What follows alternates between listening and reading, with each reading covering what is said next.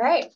Welcome to, to today's session of Open Texas 2022. I'm Ariana Santiago, and I will be uh, moderating this session. Thank you all for joining us today for the presentations. And I will go ahead and pass it over to our first presenters, Heidi and Sabrina. Thank you very much. Thank you so much. Let me go ahead and share my screen. One second. Okay, is everyone seeing the correct screen? Okay. Good afternoon. My name is Heidi Winkler. I use she, her pronouns, and I serve as Digital Services Librarian at Texas Tech University. I'm joined by my colleagues, colleague Sabrina Davis, who serves as Open Educational Resources Librarian. Today, we'll be talking with you about the imposter phenomenon in open education advocates, which is work that we're at the very beginning of exploring. We have a high level review of the existing literature to share, as well as a few tips and tricks if you find yourself or your colleagues struggling with feelings of imposter syndrome. We welcome your thoughts and questions to help us shape the work to come. So let's start at the beginning. Uh, with the 1978 Clance and Imes article that introduced the phrase imposter phenomenon to the literature, specifically pertaining to high achieving women. Sabrina and I are academic librarians, and most of our colleagues identify as female or femme, so this research fits in quite nicely with our own work. The authors wrote about a sample of about 100 primarily white middle to upper class women of undergraduate and faculty status located at a private Midwestern college from various fields and who experienced feelings of, quote, intellectual phoniness. This is not a particularly diverse sample, and I would assume that most of the women within this sample come from uh, privilege of, of the social and economic uh, variety. But the authors presented claims about common experiences of these women that may ring true for many of you, so I wanted to share. People who self identified as imposters fear that eventually someone important will find them out for the frauds that they feel themselves to be. Some, for example, convinced themselves that they were admitted to graduate school only because of an admissions committee mistake, which upon reading that was the moment that I personally realized I've never experienced an original thought. Many of the women in the study come from a family where they were not considered to be the intelligent sibling. Um, and their hard work that they put into their academic achievements was not acknowledged. It was assumed that anything that they achieved was because, you know, not because they were bright, but because they had the right social skills or were sensitive to people's needs. And as soon as they internalized that, so would their imposter phenomena set in. On the flip side, um, other women in the study were told by their families and their peers that they were the smart ones that they were superior to their peers in terms of intellect, personality, and talent. And as soon as these women failed to achieve something that they wanted, something that they had set out to do, they began to doubt the external perception of their intellect and imposter phenomena would set in. And now Sabrina will talk about what happens when these self described intellectual phonies grow up and become librarians. Thanks, Heidi. Um, so there's quite a bit of literature about imposter phenomenon in general, but since Heidi and I are both academic librarians, we wanted to explore it from that angle. So, in our search of the literature, this is a very nearly complete list of everything that we found that mentioned imposter syndrome and academic librarians specifically. Um, as you can see, there's not a whole lot there. Next slide. but we learned quite a bit. Um, so it's clear from the literature that, much to my and Heidi's dismay, academic librarians are not immune to feelings of imposter syndrome. In fact, according to one study by Clark, Vardeman, and Barba, nearly one in eight academic librarians that they surveyed have feelings of imposter syndrome. And that's just from the sample that they had. I would bet that the in reality, it's probably a much bigger number. So, when looking at the literature, it became very evident that there were a few reoccurring reasons as to why academic librarians were experiencing imposter syndrome. These ranged from being new to a professional role, um, not having enough time for professional development, um, underrepresentation in the profession in general. Uh, for those that don't know, librarianship is predominantly white. Um, and then my personal favorite being, um, and feelings of imposter syndrome can also come up uh, if you are the youngest or if you are very early on in your career. Um, as a younger millennial who kind of borders on Gen Z and as someone who is still very early in her career, I definitely identified um, with, with that one and, and the feelings of imposter syndrome that come up with that. Next slide. Okay, so that was academic librarians in general, um, but Heidi and I also wanted to know how imposter syndrome affected scholarly communications librarians. Why that particular group? Well, OER and open ed responsibilities are sometimes additions uh, to what those in those positions are already doing. Um, so, according to NASIG, there are core competencies that scholarly communications librarians should have. These core competencies include knowledge in institutional repositories, publishing, copyright, data management, and assessment in all metrics. These areas of knowledge are important for later, I promise. So, like other academic librarians, scholarly communications librarians have various things that impact the competence. Uh, the largest factor being too many responsibilities, which I can understand why, followed closely by again, just time in the job. So if you're earlier on in your career, um, you tend to have more feelings of imposter syndrome. And then just another, again, lack of time to participate in professional development opportunities. Next slide. Okay, so how does this translate to open ed and OER advocates? Well, as I said, Heidi and I focused a lot on librarians because that's what we are. Um, and the reason we chose scholarly communications librarians is because typically librarians at institutions are the ones that are helping to lead the way um, for OER and open ed initiatives at their campus. so as you're looking at the slide here, um, you'll, you'll, you'll kind of see some commonalities um, with what open ed and OER advocates are doing um, and how they kind of relate to what scholarly communications librarians do. So open licensing kind of goes along with copyright, uh, open access and OER creation goes with publishing. Um, with some addition, uh, additional uh, responsibilities here, such as outreach and marketing strategies, project manage management, and then advocacy um, to multiple campus stakeholders. Now, this list is not at all comprehensive of everything that OER and Open Ed advocates do, um, but it does show that they're doing a lot and that some of this may lay outside the comfort zone for many librarians. So, for example, communicating and advocating to some campus stakeholders, like those in administration or po- other policymakers, is not always something that's covered when you're getting a library degree. Um, so, unfortunately, there was not a class called How to Talk to Your Provost 101, as helpful as that would have been. There may also be the added pressure to feel like you have to know every single thing about all the areas of knowledge that I've listed here, which I don't think that's possible. Um, but that pressure is definitely there, you know, that you have to know every single minute detail about open licensing or how open access works, um, assessment, etc.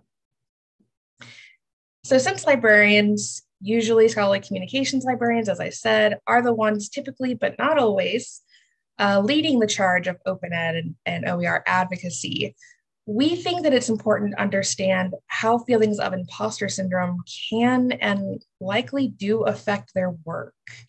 Um, and since there hasn't been a lot of research done on this yet, Heidi and I would like to turn this into a larger study um, of OER and open ed advocates and librarians at their institutions. So, more to look forward to. Next slide. Now, that said, we know that we as OER and open ed advocates have struggled with our own feelings of imposter syndrome. And we wanted to provide just a few tips and tricks um, for those of you who may also be struggling. Next slide. The earliest Clance and Imes work noted that one of the most effective therapeutic treatments against imposter phenomenon was talking openly about imposter feelings and experiences with peers in a group setting, be it formal or informal. Not only will it bring relief to find that you're not alone, it's also a good way to challenge your beliefs about yourself when you see those same beliefs in another person that are just so clearly not based in reality. Eventually, you'll figure out that you too are worthy of believing the hype about yourself. So the literature also mentioned, um, you know, how having formal and or informal mentorships can help. Um, I think it's important to look for those mentorships both within and outside of open education and the OER world. Um, so, you know, within the OER world, uh, everyone that's kind of in that space will understand what you're going through for sure. Um, but those outside, so especially if you're someone who's younger in your career, like myself, um, having you know maybe a, a, a, formal or informal mentor just within the profession in general or maybe who's more um, further along maybe in higher ed in general can be super helpful with those feelings of imposter syndrome. Um, i would also rec- recommend keeping regular communication either with a mentor or your supervisor um, that way you can get consistent feedback on not only what you're doing um, as far as initiatives and things like that but you can also get feedback on how you're progressing and meeting the responsibilities that are set for your role. And then lastly, just venting is so therapeutic. Um, so you know, if if the person that you vent to is your mentor, then that's that's always nice. But you know, get get the frustration out as much as you can. And while we've focused on people's individual feelings, we also don't want to let systems off the hook. There was a great Harvard Business Review article published last year that challenged the individualization of imposter phenomena when we should be looking at how organizations and workplaces treat the people who work for them. So, if you're in a leadership role in your institution, interrogate whether your organization really values competence or confidence, and who gets praised when they display that confidence, and who may get subtly punished when they display that confidence there's evidence that says that women, people of color, trans women, people within uh, marginalized communities are punished for displaying confidence and trying to be ambitious. So, who gets rewarded for being confident and ambitious? And who gets punished? Are people allowed to be themselves? Or must they project an air of perfection in order to seem professional? And then lastly, I think it's also important to recognize that sometimes it really just is a lot of work. Um, you know, we as librarians do a ton of juggling. And as the theme of this conference has highlighted this week, there's a lot of labor that goes into being an OER or open education advocate. So while you're doing all the amazing things that you're doing, it's important to also take care of you maintain a work life balance that works for you, however that looks. Um, and then remember to be kind to yourself. Not everything will always go according to plan. So remember to give yourself a little grace and just the patience to be human. And lastly, I wanted to share something that my supervisor told me the first day when I started last year. Um, he said that the work that I would be doing in the OER and open ed realm uh, would be a marathon and not a sprint. And I think that is correct. You know, for me as the OER librarian, it can be so tempting uh, to compare what my institution is doing with what other institutions are doing. And so I feel pressure to do a million and 10 things at once just to catch up. Um, but I think it's important to remember that every institution is different and that change, especially mindset change, takes time. Next slide.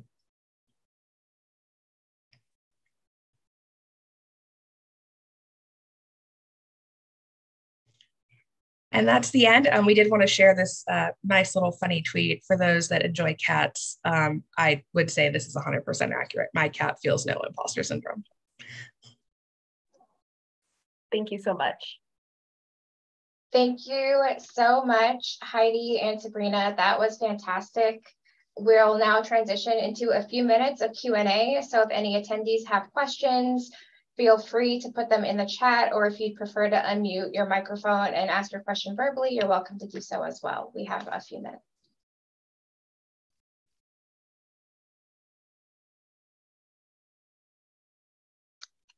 While we're waiting for other questions to come in, um, I had a question. I, I think for me, and I, Heidi may have a different opinion, but for me, I think it's definitely communicating and advocating to different stakeholders, especially uh, administration. Um, I, I know that's where I have struggled. Um, and I've, I've heard other OER advocates or librarians have struggled with in the past, um, but I'd be curious to see what others think. And I would just add on, you know, um, a lot of this work is is it feels like you're telling other people how to do their job and that you're coming into their space and and telling them that they've been wrong all this time. Um, and so that that takes a lot of courage. Um, and if you are not that expert in that subject area then um, you're you're going to feel like you have no idea what you're doing.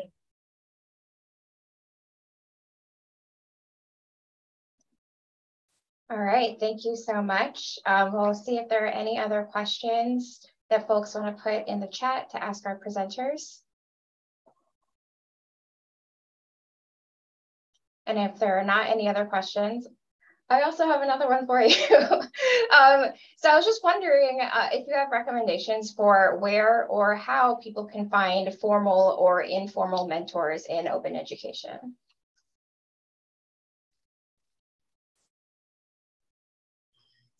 Um, I would definitely say um, if, if, you're in Texas, um, you know, there's the OER ambassadors through Texas Digital Libraries. Um, those are good people to, to work with and to kind of reach out to. Um, various listservs that exist that are related to OER. I know SPARC has a really good one, um, you know, and just asking um, for good for someone that'd be willing to mentor you. Um, or, or if there's an institution that you're like oh they're doing great things. I'd really love to chat with that oer librarian or whatever. Um, you know reaching out directly to them as well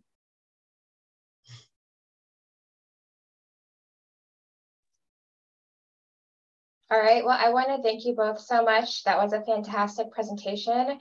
Um, so we'll wrap this one up and I'll go ahead and pause the recording.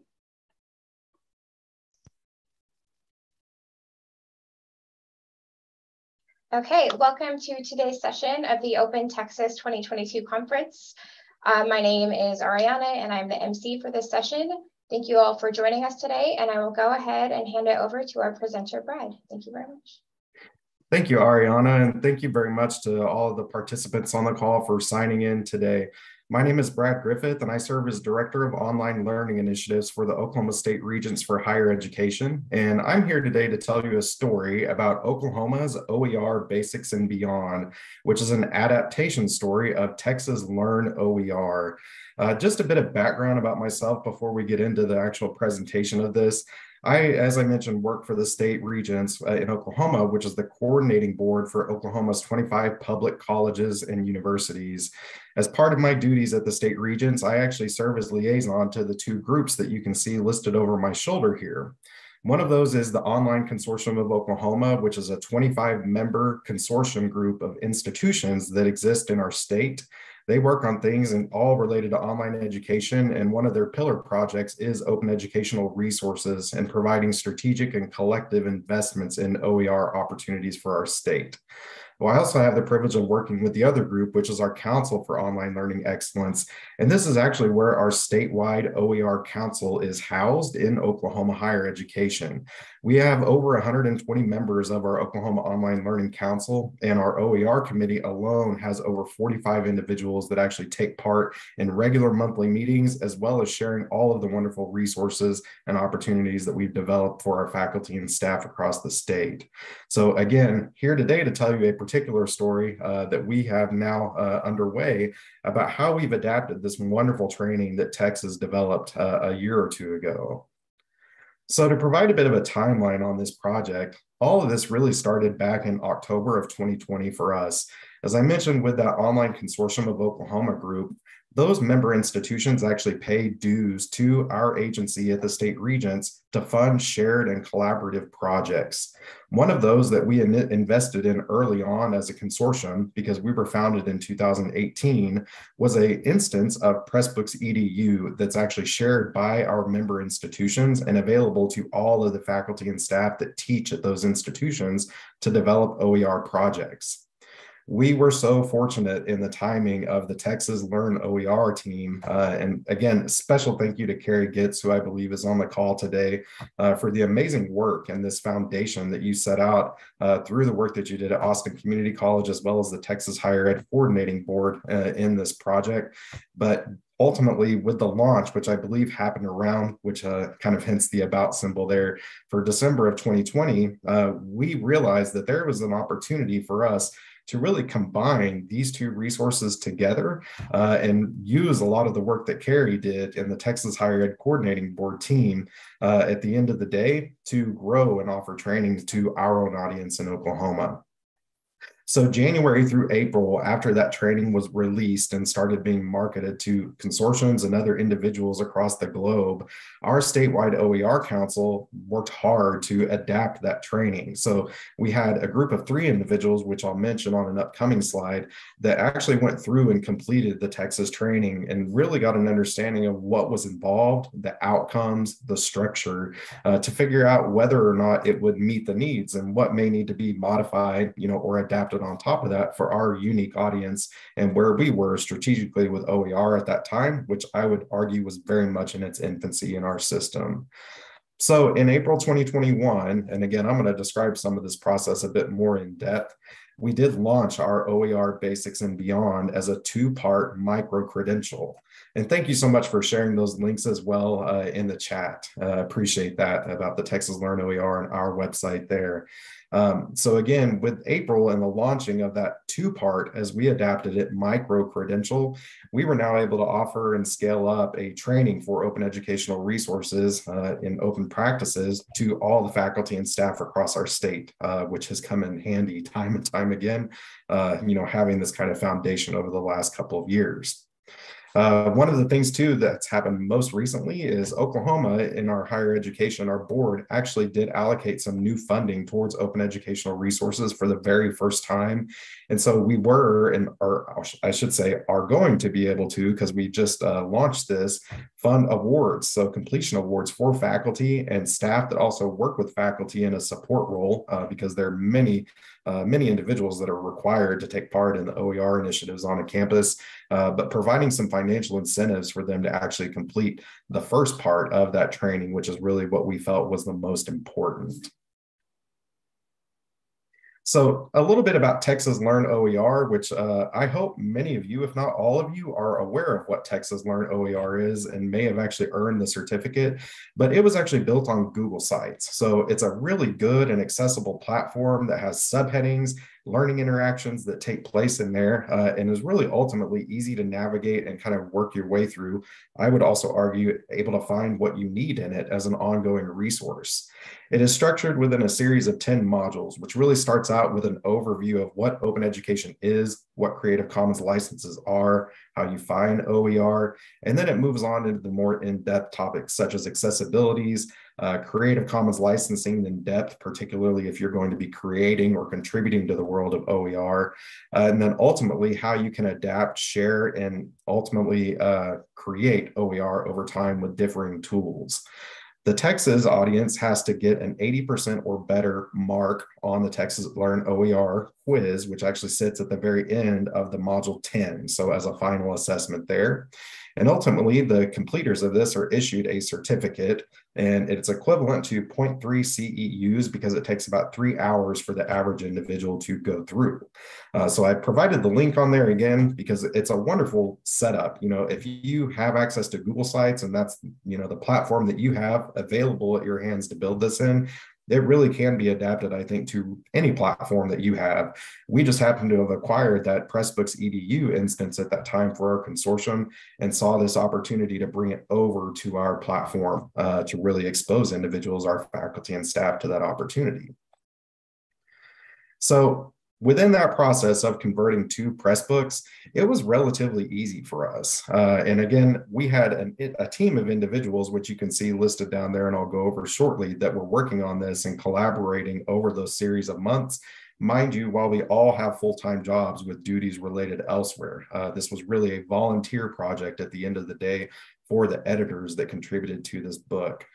Pressbooks, one of the good features that it has to offer is being able to import content via URL. So that was actually the method that we used to bring over the content from the Google site, uh, which again does maintain the integrity of those heading structures for accessibility and the other things that were built in for that matter uh, by the original creators we did actually kind of uh, realize along the way in that process that considering that the Texas Learn OER is based on Google Sites, a lot of the materials that are downloadable, uh, interactions, and resources are actually housed under the Google Drive that is managed, I believe, uh, by those that are managing the Texas Learn OER program. So obviously, for the sake of continuity and wanting to provide direct links to our own audience, there was a back layer process there that had to occur where we transferred all of those ancillary files uh, and links and actually made copies of them within our centralized Google Drive network so that we could again connect directly to our own resources and ensure that that material is available on a continuous basis without changing the links. Obviously, Creative Commons licensing empowers us to be able to do all of this. Uh, we did also decide along the way to create a companion course because we have a Moodle instance that, again, we use for our consortium projects and council projects. And so, again, the thought in mind there by our team that was developing this is let's create a companion course that actually gives a faculty member an understanding of how a Pressbooks OER open textbook or resource could actually integrate into a course learning management system experience. So again, they are completely open. You don't have to log in, you know, to our Open OCO Pressbooks portal to be able to view this book. But we do offer faculty that kind of onboarding experience that's traditional to a course so that they can understand again if they want to use Pressbooks in their own class, how that experience may unfold, how the hyperlinks may actually work, you know, where they would direct their learners to those instructional materials in Pressbooks.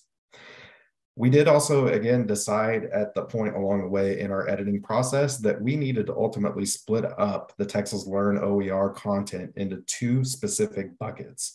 So what we actually have now, and I'll cover on an upcoming slide, is a two-part sequence that's the OER 101, so initial, really basic knowledge of open educational resources, and then the OER Champion Badge, which goes on to those deeper uh, level resources in part two.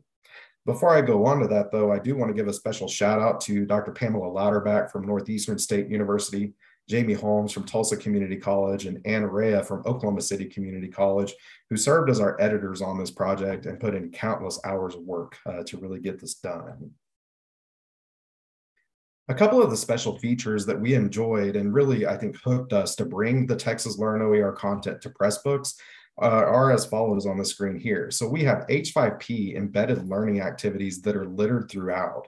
So this provides individuals an opportunity for knowledge checks, for reflective elements, for drag and drop activities that again provide a little bit more interaction with the content and also an opportunity for reflection along the way.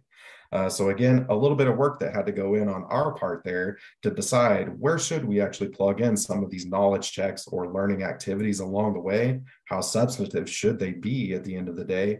And how can we really help individuals prepare for that final assessment that they'll have to take with us, much as they do uh, with the Texas Learn OER program?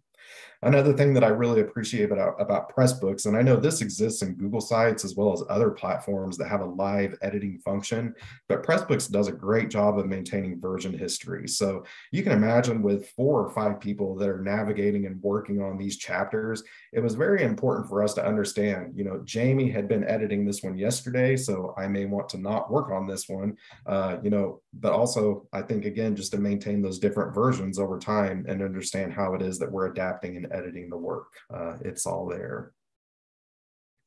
As I mentioned, here's a screenshot of the Moodle companion course. So we have modules that are structured that provide a simple introduction, a video in some cases, and then links that go into the Pressbooks where they need to uh, access that learning content. Once again, I mentioned we have an assessment that sits at the end of the OER 101 module. So we did modules one through four as the first learning chunk. So there's an assessment there where they can qualify for a badge. And then OER a deeper dive, which results in the OER champion badge. That's the next series of modules that takes place there. So I mentioned previously uh, in our conversation today that we do have a two-part digital badge sequence that is associated with this. So individuals ultimately for their assessments in the course complete a Google quiz form or a Google form quiz, I should say. So modules one through four, ultimately, if they completed and earned the 80% score, which we followed again with Open Texas and what they did there, they earn the OER 101 badge. So has the skill tags associated with those learning outcomes discusses you know validation of their uh, competencies there. It's a foundational program. It takes hours to complete and it's free for individuals to enroll in. And then again when they complete the second series of modules they can qualify for the oer champion badge which recognizes those deeper level competencies and also specifies that they have to earn the 101 badge before they can get the part two I should mention as well, uh, just for the sake of it, that our digital badging initially, we started piloting it through Badgr because Badgr offers a free digital badging platform for issuers. Uh, but we did actually take advantage of our enterprise agreement with Credly that's facilitated through the state regents and are now offering our badges on the same platform that we're actually using system wide for micro credentials and digital badges elsewhere. The last bit of great news that I'll share before we open up for questions, again, is about that funding that we've received for FY23 to actually compensate faculty or provide awards for them, as well as staff members such as librarians, instructional designers, and technologists, uh, other individuals, again, that provide these supportive roles for faculty as they embark on OER. They're eligible now for $50 awards that will be dispersed through their institution. Uh, all of our Oklahoma public colleges and universities, faculty and staff are eligible as long as they have, again, one of those roles that caters towards working with open education. And we're just requiring at this point completion of the OER 101 module. So the real goal behind providing this funding is to bring that awareness, you know, through a small incentive of those basic tenets of open education and helping faculty understand how they can utilize Creative Commons licensing in the scholarly work that they do. I would invite you to connect with us at any point if you want to learn more about this adaptation story. If you're thinking about adapting either our setup of the uh, OER basics and beyond, or even the Texas setup, if we can be of help. Uh, I think that the cool part about what we've done here and also what Texas has done is these resources in the training program could really be adapted at about any scale. So all of our faculty can complete a singular quiz and we actually have the ability to give our OER council members the opportunity to provide feedback to them. So uh, we can call on those volunteers as we need to, as more and more faculty hopefully come through this program and help each other on a state level uh, versus having to do it individually. But again, I think with the resources and the way this is structured, anybody at any size of institution could provide this as a great resource for faculty and staff. So I'm going to go ahead and stop sharing my screen here and ask if anybody has any questions they'd like to ask or maybe any feedback about uh, what you've seen, you know, with this transition from the Google Sites version over to what we've done here. Uh, and really appreciate your time this afternoon. Thank you so much, Brad, for sharing your presentation with us. Um, we'll go into Q&A now. Uh, feel free to put your questions in the chat, or if you prefer to unmute yourself and ask a question, you can do so. I do first want to read out this comment in the chat from Carrie, um, who said, this is a wonderful adaptation. I really like the Pressbooks and Moodle formats for this, not to mention the OER digital badges you created. Thank you for sharing, Brad.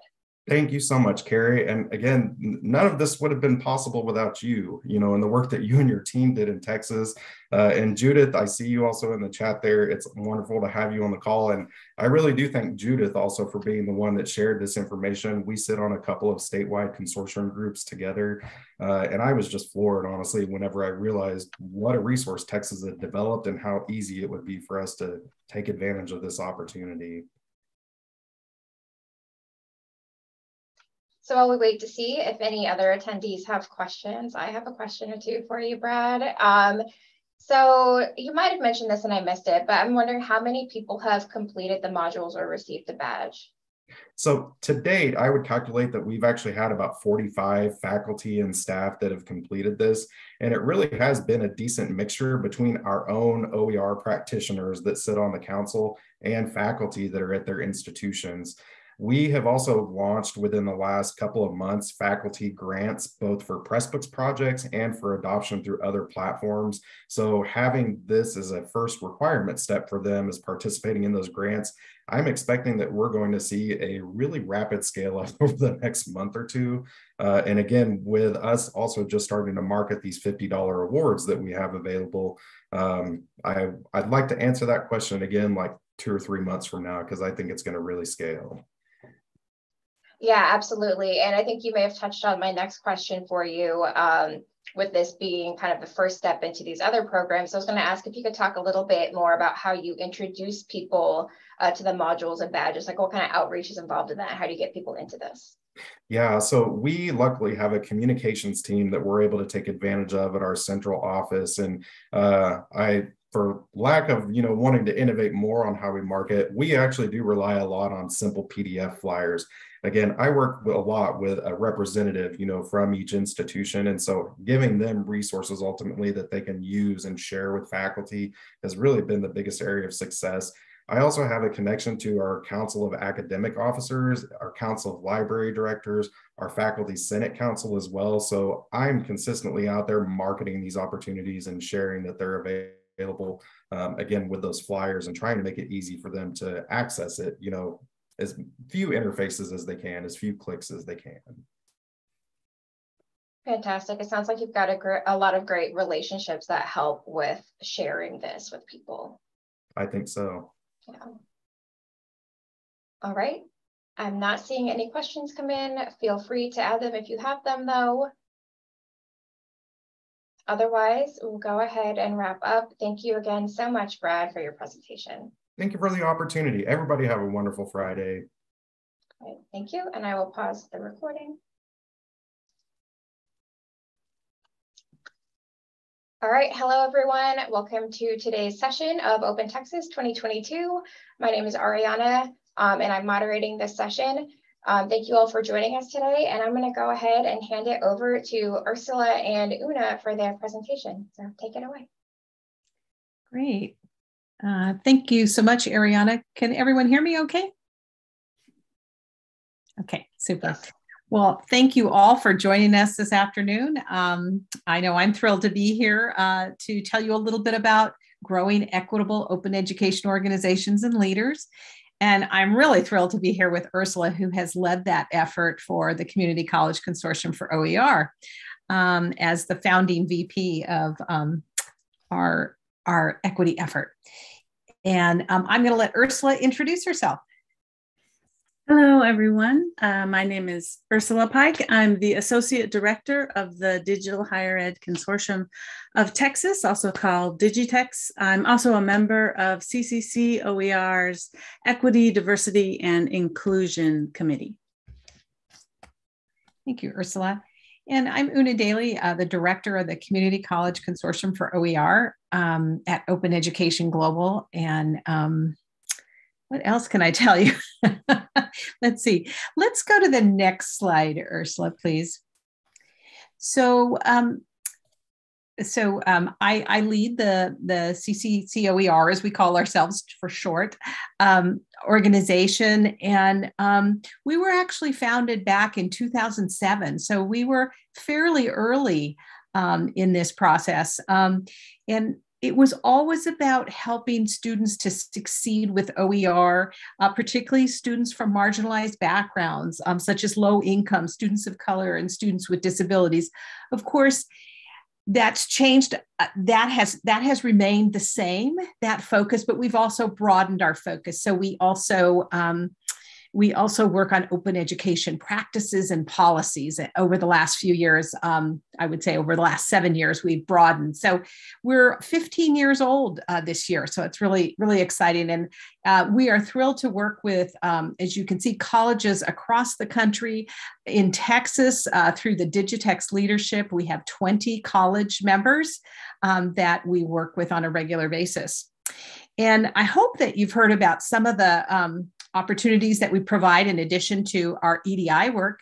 We have um, we have monthly webinars, professional development opportunities, which um, if you join our community email uh, list, and there's the link there. It's a free email list.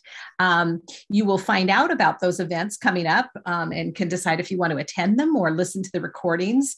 Um, we also um, have um, advocacy events throughout the year, including Open Education Week. So that's run by our, our Open Education Global uh, parent organization. Um, and we do case studies uh, with our members and with other community members around the exciting projects that they do. And um, next slide, please.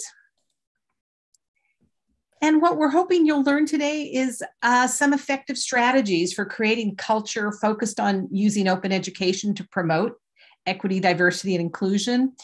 And you'll hear about some lessons learned, uh, particularly from Ursula, about how transforming culture is destined to be a work in progress um, that requires many hands. And um, I would say that um, the labor sometimes falls on those from um, communities that have been traditionally underserved and um, makes it difficult for them to uh, earn a living and also do open ed on the side, which um, unfortunately sometimes it's it, some institutions expect that. And I know that uh, we that this conference has been all about um, supporting um, supporting uh, marginalized uh, uh, workers uh, in in their OER work and um, and making sure that they're compensated fairly. So thank you, um, Ursula. And so I want to say that for many of us, spring and summer of 2020. No, I'm sorry, there's a typo. on that slide, it should say 2020 was really an inflection point. Um, and um, so, so many organizations and institutions um, started to um, express um, a need to be more equitable and anti racist as this growing awareness of structural racism uh, really dawned on um, us, and, and particularly in higher ed for all of us. And CCCOER had, a, for a long time, had a um, an EDI blog, as we call it, Equity, Diversity, Inclusion blog. But, but in fact, um, we wanted to be more active and we needed to be more active. And so we started a learning community uh, that summer, uh, meeting um, monthly to discuss topics that were coming up for people. And um, as, as that effort matured, um, we launched actually a planning leadership committee called the Next Steps Committee. And that is what uh, Ursula fortunately stepped into the leadership of that program. And um, it grew from there. Uh, next slide, please. And as that learning community uh, kind of um, drifted off as the pandemic continued and and it was hard for the large community to meet on a monthly basis the edi committee really took hold um, and it became part of the cccoer strategic planning around professional development um, and other areas of our program. And um, we also, at that time, CCCOER was able to launch the Open for Anti Racism program, which is, I'm not going to speak about today, but something is in our California community colleges. And we also run some other programs focused on this. And the EDI committee has done many, many exciting things um, over the last two years. And I know uh, specifically um, Ursula is going to co- concentrate on the amazing book club that has run for the last two years. And over to you, Ursula. Great. Thank you so much, Una. Um, yeah, so as Una said, in 2020, uh, several members of CCC OER came together. Um, Una, and I also want to recognize the early leadership of Quill West from Pierce College in Washington State. Um, they, uh, I worked with them really closely early on, uh, figuring out what we, we were going to do about this um, they but they really were instigators. Uh, they sent out a general call and, and a bunch of folks like me and others uh, responded. And, and we came together. We didn't even know what to call ourselves at first. We didn't know exactly what we were going to do but we just kind of blindly moved forward. Um, but the edi committee's work um, ended up supporting ccc oer's strategic plan. And actually, the first pillar of CCC OER is to advocate for open educational practices to empower contributors from diverse learners and educators who have been underrepresented. So the OER movement is deeply rooted in ensuring equitable access to information. And as many people have pointed out at this conference, from the keynotes to many of the individual sessions, there's more we can do to help increase equity, diversity, and inclusion in our resources and our practices. And you know, on the committee, we really believe that OER has the potential to create equitable learning experiences for all students and to empower instructors. But we also learned that it doesn't happen by accident. Um, so what do we do? You know, we we had this EDI blog. Uh, there was a blog, existing blog that some people had contributed to, um, and we just worked hard to maybe have more consistent posts to it, addressing different kinds of issues, not necessarily saying here's a solution, but kind of exploring issues. Um, we invited educators from diverse backgrounds and um, we really emphasize flexible participation. You know, some people are really busy and they're teaching and they want to be involved. And, and we were really, we wanted to make sure, we, we do make sure that people understand that if they can only come to one meeting a semester, we are fine with that. If they can't be very involved this year, then the next year they can be maybe more involved. Or if they can only be involved in the summer, we really emphasize that participation, that people can have their own participation or what works for them. We advise the CCC OER staff and exec council. We participate in strategic planning. We advise um, professional development topics and speakers help identify, and we often speak on the um, professional development webinars ourselves.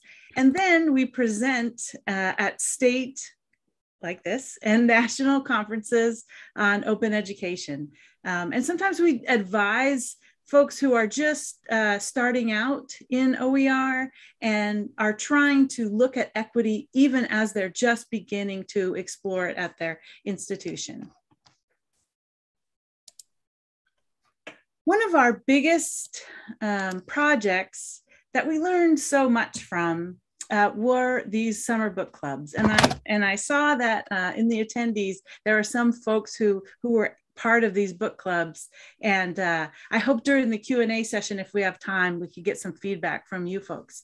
Uh, but we, in the summer of 2021, um, you know, there was a group meeting that were they called themselves a community of practice and community of learning. And they were just trying to explore some issues. It was less about uh, professional development and more about just kind of exploring some of these issues. So the first book we picked was From Equity Talk to Equity Walk, Expanding Practitioner Knowledge for Racial Justice in Higher Education. And that book, it was really easy to pick because all of us had been meaning to read it.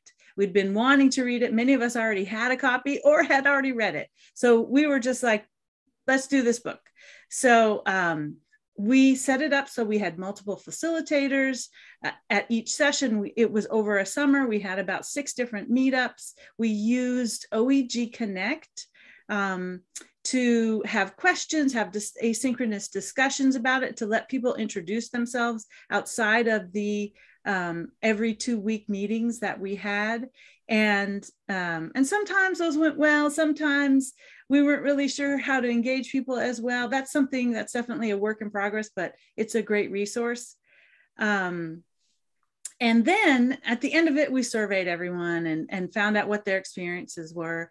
And um, and then we decided to do this again in 2022. And choosing that book was a little bit more um, I don't know. We we weren't really sure. We wanted to focus a little bit more on practical strategies that the faculty and librarians and staff in the book club could could implement.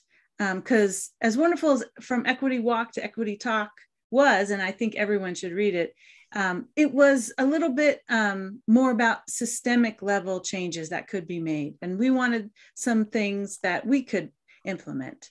Um, so, and also in that second year, we created a facilitator's handbook and we trained the facilitators.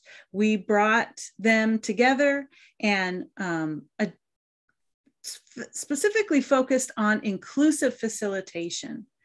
And one thing I wanted to say is it's often the case that when we present, when we submit a proposal to a presentation to talk about the book club, at least one reviewer will always say, Well, what's so revolutionary about a book club? My mom's in a book club, you know, and I think that um, our book club, we really get into some deep discussions about equity and what we can do and what our organizations have done. Um, and anyway, so next year, uh, so right now we're developing a web page. We hope to do another book club next year. Um, so it's an ongoing um, process.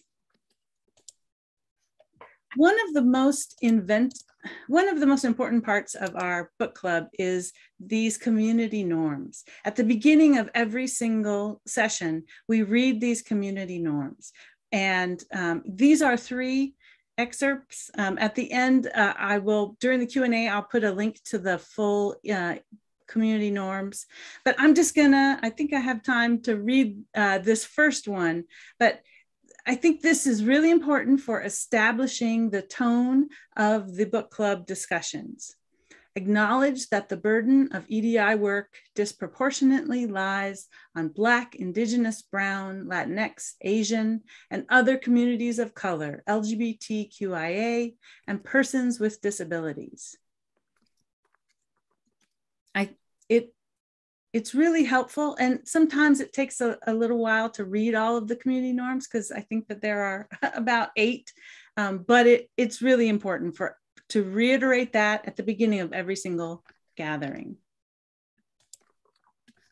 So here's some of the things uh, that people have said that in the book club when we surveyed them. Uh, it was a safe space to gather with other people to discuss EDI issues related to their own experiences and the book. And it was great to do this deeper dive on equity with colleagues across different schools and systems. One of the most important things that we took away from that very first book club when we read from Equity Walk to Equity Talk is that we are, most of us, first generation equity practitioners. We're learning and we're making mistakes. And I think it's also important. We learned also that people of color aren't all equity workers. You know, I know that I may be someone who, my experience, I can see microaggressions or or see them when they're perpetrated on me or others, but I don't always know how to address them. And um, we need structured opportunities and examples to try, fail, and learn how to implement equity. And um, and one really important part about surveying our um, the participants of the first year was we we really adapted our process because of them and that's why we created that training and focused on inclusive um, meeting facilitation. But the the last thing i want to say about about the group is that you know there were definitely some challenges and we learned some lessons. Um, we learned that equity, an equity lens cannot be um, given to a project retroactively. Like when you try and come in and say, hey, here's this thing we did, can you kind of look at it and equitize it and make it um, more equitable and diverse? That isn't really possible. And also, it's how things are implemented. It's really difficult to step in and review for equity. And I think we've learned that the more we can get involved at the beginning of a process and plan along with it, then the more equitable it can be. Um, and you know, one thing I've seen is that one exciting thing is Dr. Shinta Hernandez, who was one of the founding members of the Equity Committee. She now is the uh, the chair, the VP of the Professional Development Committee. And so, I mean, she she taught us she's an expert in in equity work so i just think that's so exciting to have her now be leading the professional development committee another thing is burnout you know we really have to be honest about how hard this work can be, especially for people from marginalized backgrounds. And to address that, one thing that we did is we had co VPs um, in our committee. So um, I was joined by the phenomenal Tanja Connerly, um, and she was a co VP for me. And it that first year or that second year, and it really helped um, move us forward the work of two people was much more effective than just me by myself. And we've continued that model going forward. Uh, we also focus on the needs of students, faculty, librarian, and staff. Sometimes when we're talking about OER, I feel like we are assuming we have white faculty and black and brown students, but it's really been important to recognize that marginalized faculty and staff are here too, um, uh, dealing with inequities, but then also working to, to solve them. Um, inclusive engagement takes work, as I said, transforming culture is destined to be a work in progress that requires many hands. So I'm not sure how close we are to time. Um, so I'll, I'll go to the next slide. Um, I don't know, Una, if you wanted to address some of the ways that people can get involved. Um, that that's just a promo slide. Let's go ahead and do Q and A. it's a pretty picture.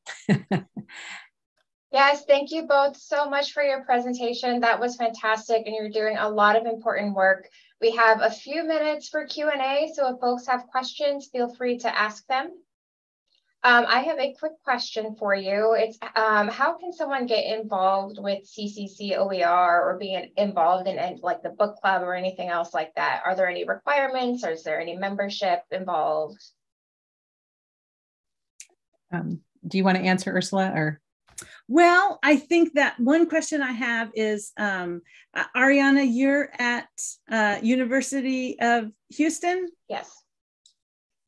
Yeah, and I think that with the book club, I think um, anyone could could join. Um, and so, if you are interested, um, there's a you can add your name to that newsletter and so then we would we would notify you when the book club is coming up i i believe. Even if there's a better way for someone to get involved. Um with the book club i i'm yeah, i'm not absolutely sure. I think yeah either contact me or ursula would be great. Um what i would say uh, just as repeating what ursula said is almost uh, uh, the book club was open to everyone uh, to participate all community members. In fact almost all of cccoer's activities are open to the entire open education community. However, the planners and the leaders come from our members, and because of course they're the ones that are helping to sustain and grow um, the work. Um, but we want to make sure we share this with everyone so that the benefit is there for any, anyone who's interested in open education. Fantastic. That's really helpful to know. All right. I'm not seeing any other questions come in. Um, so I think we'll go ahead and wrap up. And thank you again so much, Ursula and Una. Thank you. Thank you for supporting us, Ariana, and we'd love to have you um, join our book club. Absolutely. I will keep an eye out for it. Thank you. And I'll go ahead and pause the recording now. All right, hello everyone. Welcome to this afternoon's session of the Open Texas Conference. I will be moderating the session. My name is Ariana, um, but I'm going to go ahead and hand it off to our next presenter, Josh Halpern. So if you're ready, Josh, go ahead and take it away. Thank you. Uh, is my voice level okay? Can you hear me? Yes, yes, sounds good. Okay. Uh, first, before I start, let me toss some flowers to CCC OER. It's a great uh, email list to join if you want to find out where all the OER is that you need. Uh, very good conversation. I've also put some information into the uh, chat for getting in touch with me. And I want to share my screen. And here we go. Uh, and let me start the slideshow.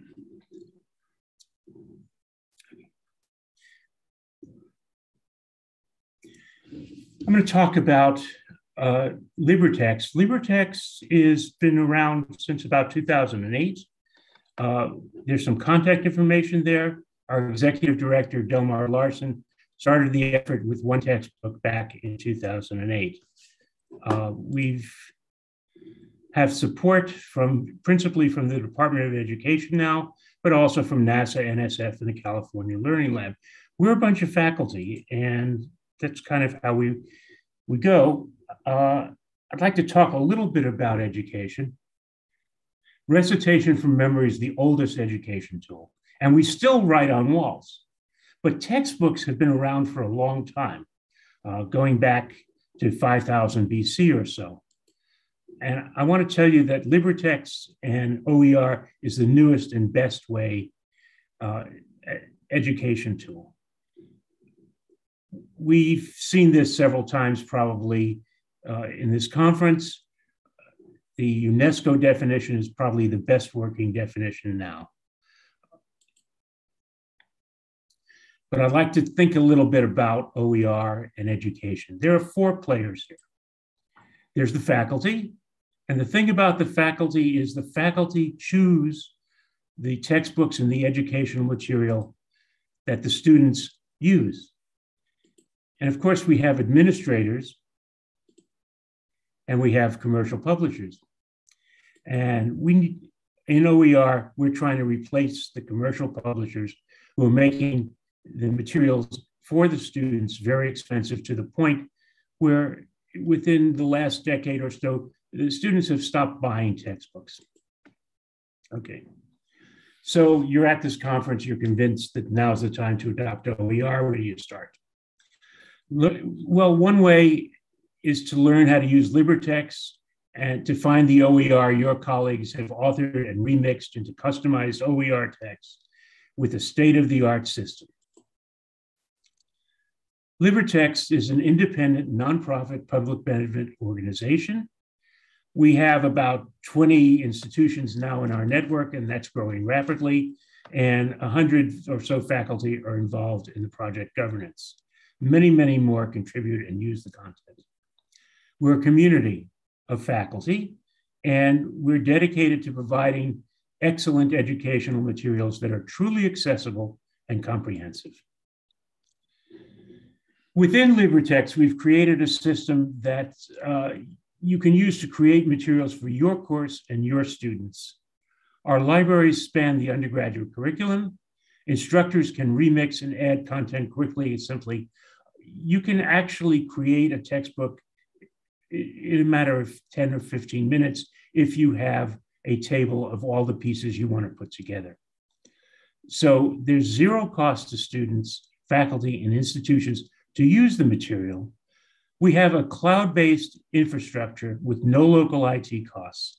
And because we operate on in the cloud, uh, we're available re- literally 24 7. Somebody's watching it all the time. Uh, we have moved into a system that's going to really enable analysis of student learning in our homework system. And we can use this data to drive improvement Since the plague hit, since March 2020, over 4,000 new instructor accounts have been opened.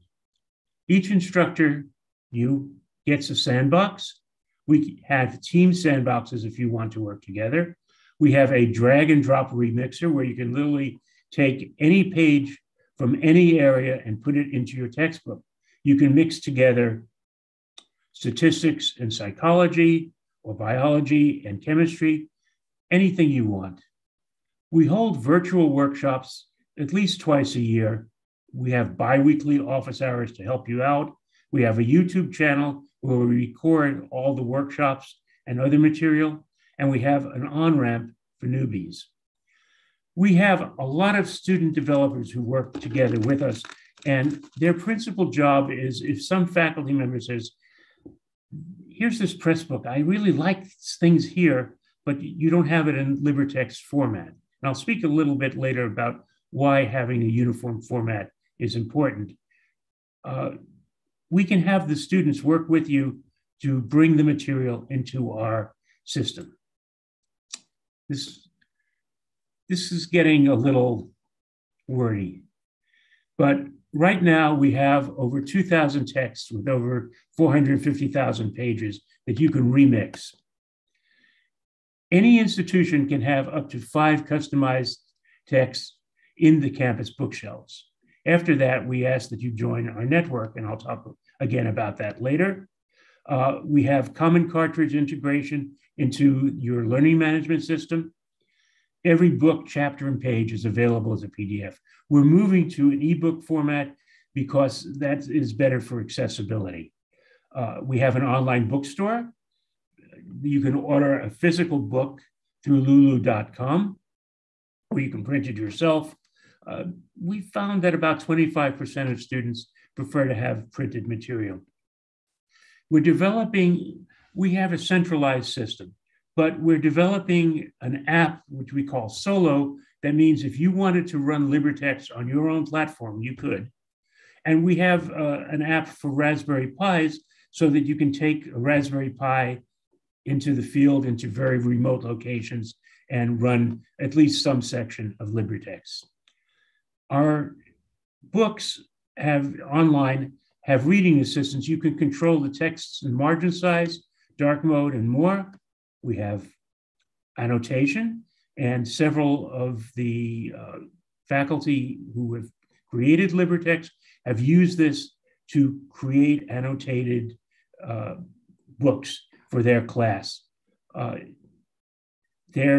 everything is available through a Commons, and we're for the librarians. We are recently indexed in Ex Libris Alma Primo, and we're soon going to be in the EBSCO Discovery System. So that's student access.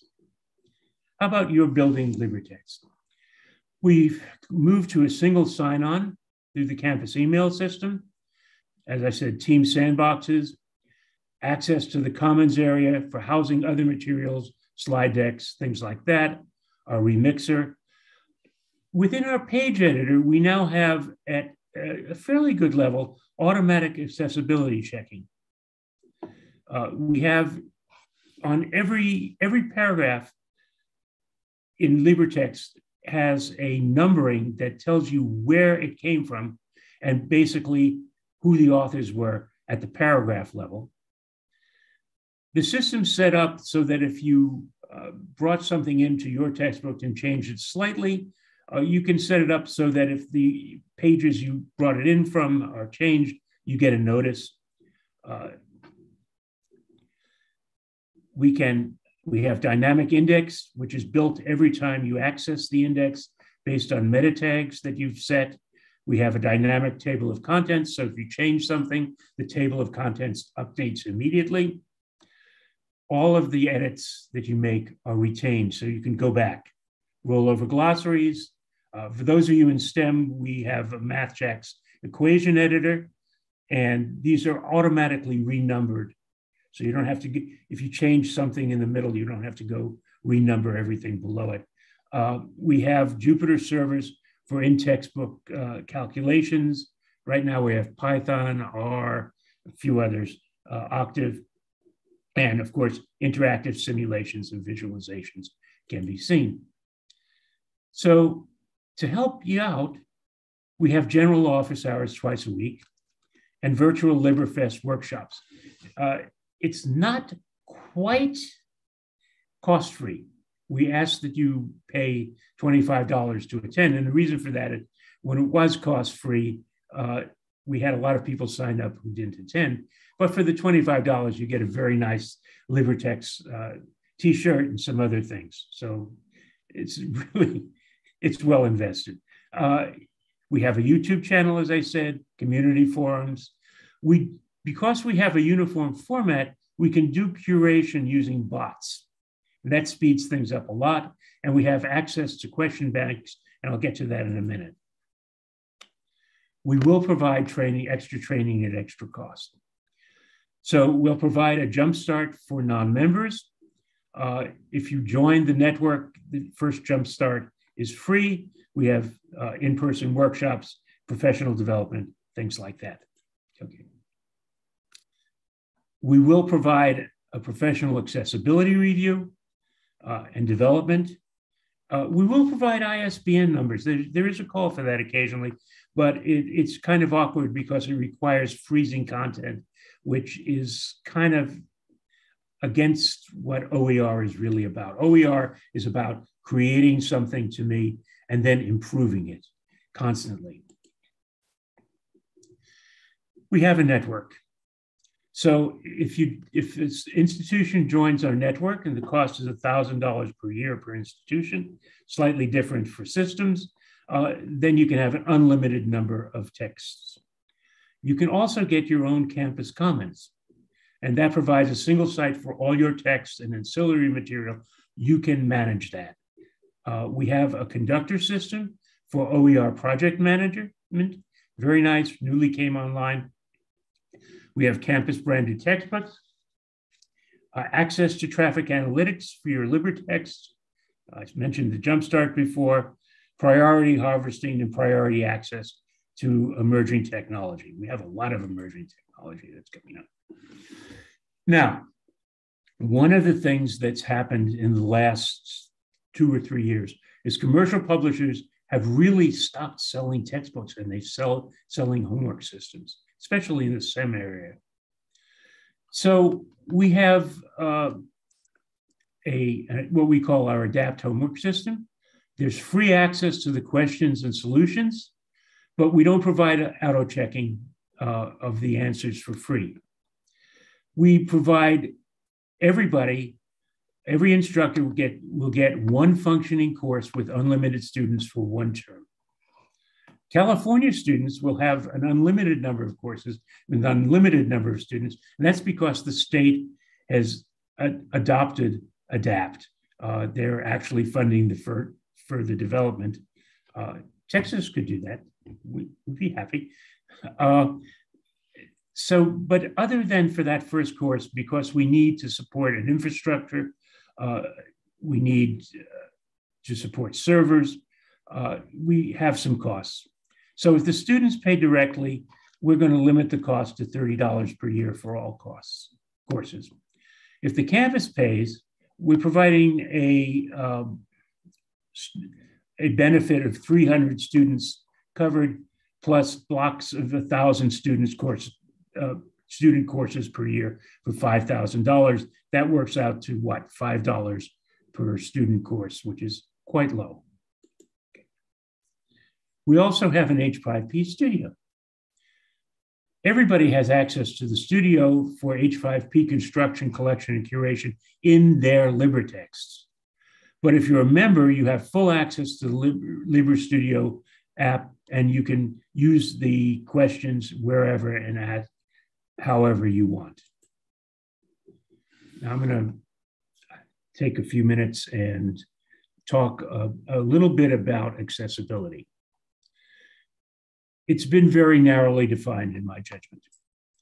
Accessibility really means that the environment can be altered to enhance the individual's probability to participate in a meaningful way to that individual. And that means for LibreText, we want for the material to be accessible, it has to be there. So it has to be sustainable. That's where we work, we work very hard at that. It has to be available to everyone everywhere. Cost is a basic accessibility issue. If you can't afford it, you don't have it. Technology is basic. Ease of use is basic. And customizability is a basic accessibility issue because if you can't relate to the material, it's not accessible to you. Right now, we're getting about 100 million page views per, per year, actually a little more than that. Uh, we have chemistry libraries, our home library, but right now the growth is largest in the non-chemistry libraries.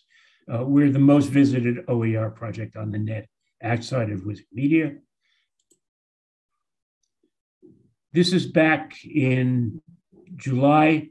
We have 800 million total page views. We're going to hit a billion total page, page views in by the end of winter. This shows you who uses LibreText, and the answer is everywhere. We've even had readers in Greenland. Okay. We're globally, as I said, all of these things before. Um, here's a here's a little Raspberry Pi. You put that together with a hotspot and a solar cell, and you can host LibreText in remote locations for under $200. And our Solo FOSS app is ready to roll out. Okay. One of the nice things we do with our printed books is we include a QR code on the videos. So you can point your phone at the QR code, you're reading a book, and you can see the video. EPUB is coming. One of the things about textbooks is that uh, textbook marketing shifts costs to students. Faculty specify the textbooks, publishers market to the faculty by providing ancillary services, those nice course packs you get. Interestingly, inclusive access is not marketed to faculty, but it's marketed to administrators, which cuts faculty off. And homework systems, again, are specified by faculty and force student purchase. And students react by not buying them or finding copies, which is educationally harmful and it's ethically harmful. You're by specifying an expensive textbook, you're leading students to try and find it uh, in non-official sources, let's put it that way. The usual way that people think about OER is a faculty member finds OER in some library somewhere and points the students to it. But these things, this model doesn't really work. It's basically, I have a printed textbook and now I have an e-textbook. Uh, there are high operating costs and network fees. There's link rot, and there's it's this is somewhat static. So we have a kind of different way of looking at it that the faculty member can find the textbook, can create their own textbook. Uh, they can point their students to it. The students can actually interact with the book. Uh, there are learning analytics, there's uh, homework systems, there's annotation. All these things surround the library.